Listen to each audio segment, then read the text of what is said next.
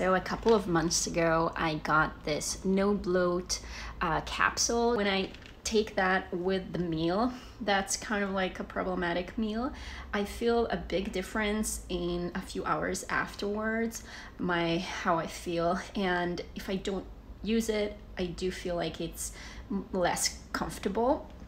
So I don't take it daily. I just take it as needed. I take two capsules at a time and it's actually feels like it's really helping me.